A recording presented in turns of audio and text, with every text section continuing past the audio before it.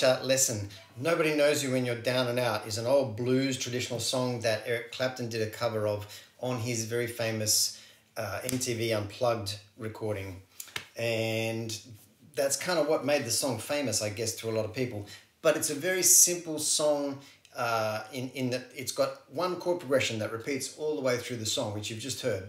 And we're going to do the solo as well. I'm going to break down the solo, the finger picking for that, that chord progression as well. We're going to do it all, so download your chart. There's a separate one for the solo and a separate one for the uh, intro sort of picking section that you just saw. Let's get started. The chord progression. Without the picking, just the chords are C, E7, A7, played like this rather than this, and D minor, back to A7, D minor. Then we walk up to F. Then we do a little F sharp diminished kind of voicing there. And there's another way to do that, which I'll show you a bit later on, but that's the way Eric Clapton does it. Adds that F sharp bass note on top of that, making it an F sharp diminished. And then C down to A, A7 again. Then we go to a D7 rather than a D minor and a G7. And that takes us back to the start. So again, C, E7, A7, D minor, A7, D minor, F, F sharp diminished, C down to A7, D7, G7. That is the chord progression. Now, as far as this picking goes, it's a bit of a kind of a claw hammer technique, which basically means that your thumb is taking your bass notes, your several fingers are taking rhythm notes or chord notes, alternating with your thumb. And sometimes at the same time as your thumb. But what I'll do, probably the best way to explain this is to play it very, very slowly according to this tab and not talk so much. One thing I will say is that at the very start in that first bar, you'll see a little TR marked above about the third or fourth note in, it's a trill. And that means that you hammer mm. on from the open G string to the first fret, and you do that as many times as you can kind of fit in that beat. It doesn't matter how many times you do it, but what matters is when you come out of it to the next note. Apart from that, I'm just going to do what I can to play this kind of slowly and accurately according to the tab. So the very first note is outside the first bar. It's kind of a pickup note. So it's one, two, three, four.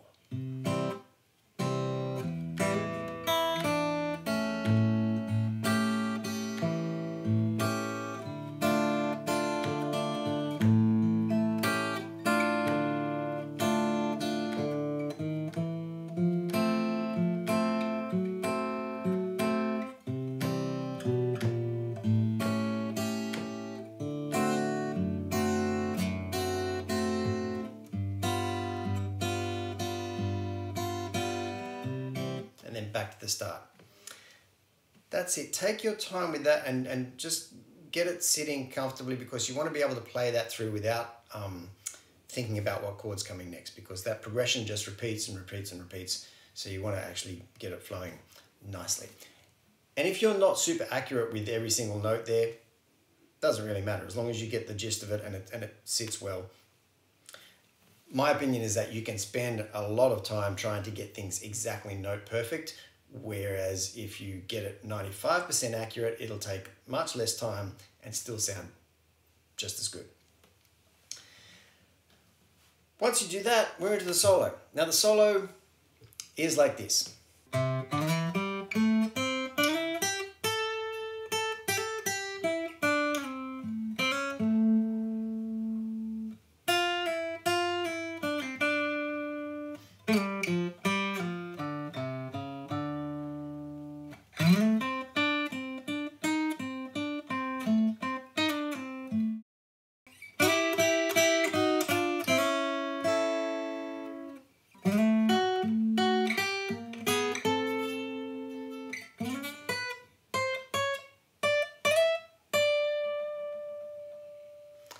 So breaking down this solo very slowly, we're doing this run up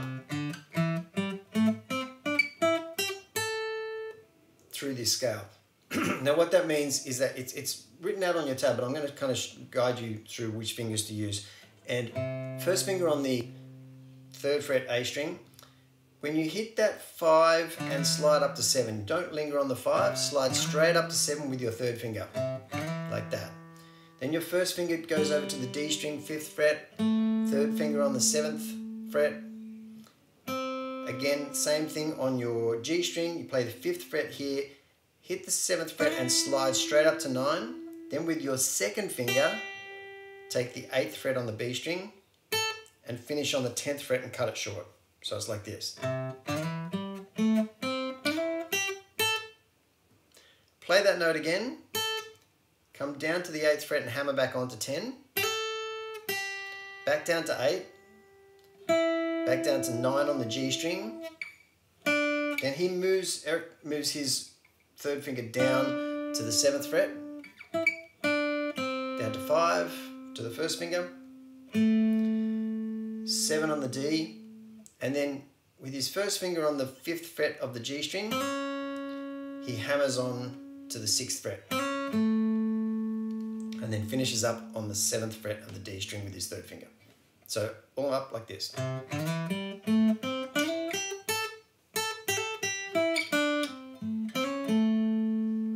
Next section where the chord goes to D minor, we're changing our scale a little bit and we're moving him into this sixth fret B string, which is an F note.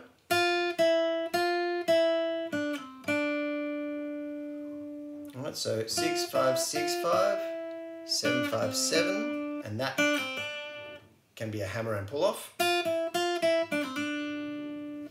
Then move to the seventh fret of the D string, but come again, don't linger on that, come straight down to the fifth fret, sliding down.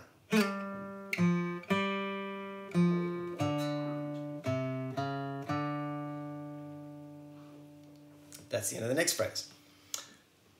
Then we slide up, we head up to the 12th fret um, A string and go 12, 10, 12 over onto the D string. Back to 10. Little blues note in there. So that little slide down from the 13 to the 12.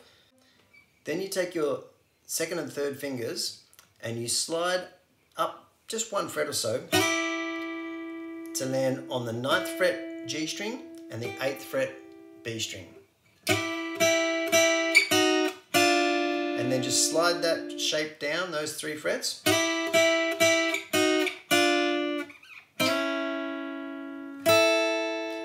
I hear another note in there somewhere that goes, but you don't need to play that, it's just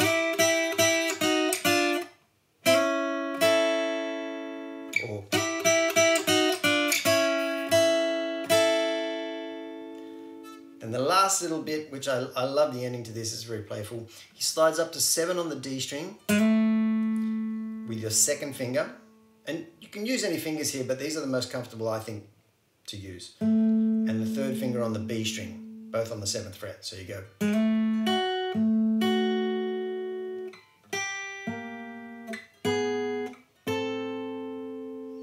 so make sure you get the kind of timing for that right.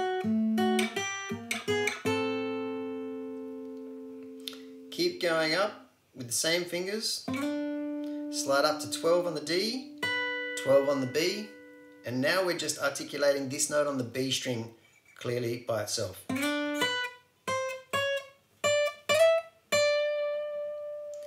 That little phrase, I, I do, do just love it. Is how we end it. So here it is, once through, start to finish.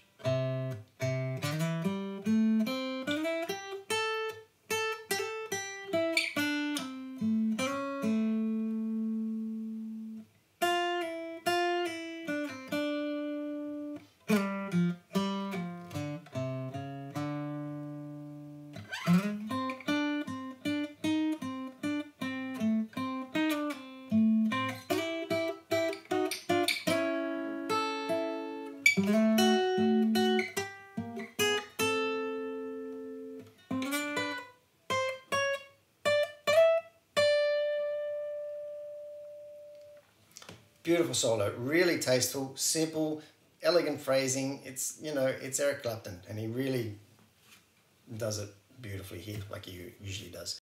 One last thing I almost forgot to include was the ending riff that Eric Clapton does at the end of this song. So you go through this chord progression, you chorus out. On the last time through the chord progression, when you get to the um, the D7, nobody wants you, you hold that for two bars instead of one. Nobody wants you, and you do the same with the G7. So it's D7 for two bars instead of one, G7 for two bars instead of one and then the band stops and he plays this riff.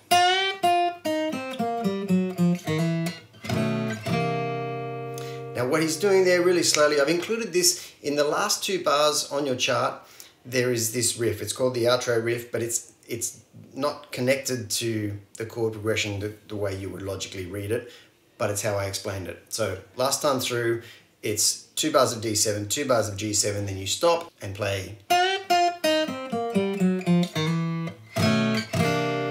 So start on the sixth fret B string, bend it up, stop it at the top of the bar, at the top of the bend, come back to six, back to four on the B string,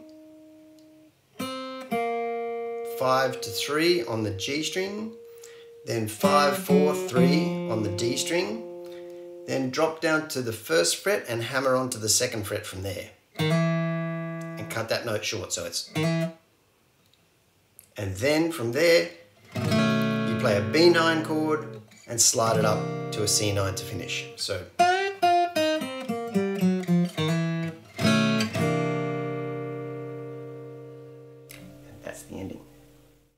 Um, so that's it. That's the entire song. Practice that to your heart's content. Go over that loop, get those chords right, fit that solo in. Uh, you thank me later. Thanks for watching.